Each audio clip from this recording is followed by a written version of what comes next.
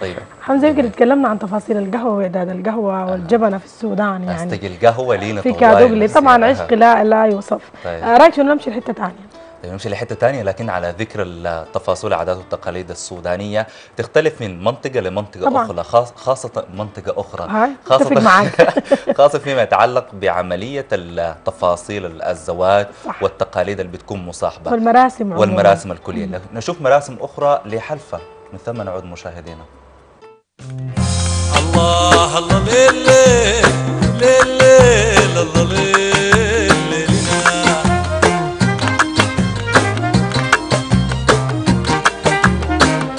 الله الله ليل ليل ليل الله ليل ليلنا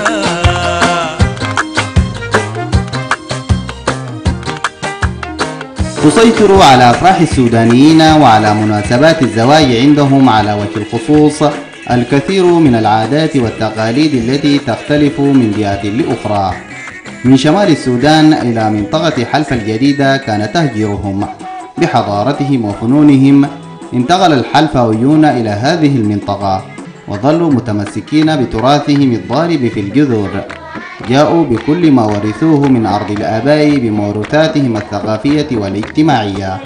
تاركين وراءهم حنين الديار والنيل الذي لا زالوا يبكونه حتى في مناسباتهم التي يمثل هو مصدر تفاؤلها.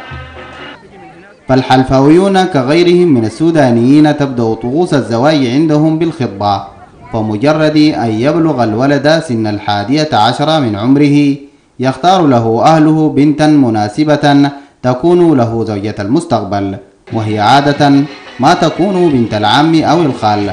أو إحدى بنات الأقربين ويتم حيز البنت بصورة مبدئية وينشأ الطرفان وهم على علم بأنهما سيكونان زوجين. عند دخول الخطيبان مرحلة الزواج تبدأ الطقوس بليلة الحنة والتي تسبق ليلة الزفاف بيوم واحد حيث تبدأ مراسم الحناء بالنسبة للعريس بمسح باطن قدمه وأصابعه بالزيت الهندي أو المحلبية ثم توضع الحناء عليها.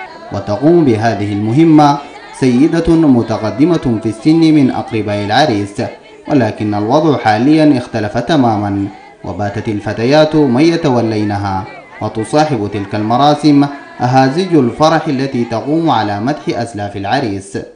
بعد الانتهاء من طقوس الحناء تبدأ حفلة الرقص والتي يقودها لفيف من المغنين المحترفين والهواة ويمثل الدف أو الطار وهو آلة شعبية مصنوعة من إطار خشبي عليه قطاء من جلد الغنم مشدود عليه الإيقاع الشعبي الحاضر في كل مناسباتهم رغم دخول الآلات الحديثة في الغناء. ويتميز الحلفاويون بتنظيم حفل العرس تنظيما جيدا حيث يقف الضيوف في دائرة واسعة يكون الرجال في جانب وتجتمع النساء في الجانب الآخر. وهناك رقصات خاصة لدى الحلفاويين يؤديها الشباب من الجنسين ويستمر الحفل حتى الساعات الأولى من صباح اليوم التالي. هذا ما كان متعلقا بليلة الحنة. أما ليلة الزفاف فتبدأ بطقوس الجرتق التي تحتضنها ساحة منزل العريس. وتبدأ الطقوس بجلوس العريس على بساط أو برش أحمر وبجانبه عدد من الأواني الخشبية التي تحتوي على مسحوق الصندل والمحلب.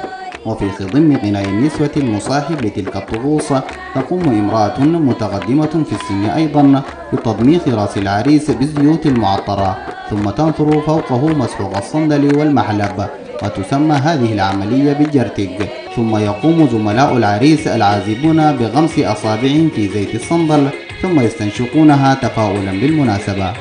كل ما تم من طقوس ومراسم متعلقة بالزواج من حناء وجرتك كانت داخل منزل العريس.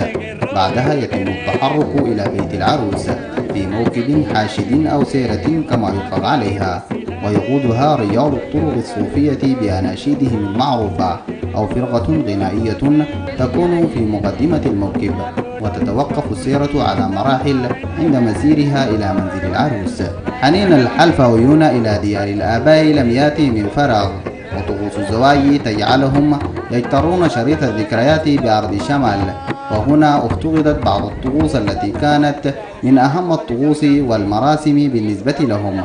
كالمسير إلى النيل والذي يمثل قمة التفاؤل بالزواج وطول فترة الاحتفالات وافتقاد الآلات الموسيقية التقليدية وقطع جريد النخل الأخضر.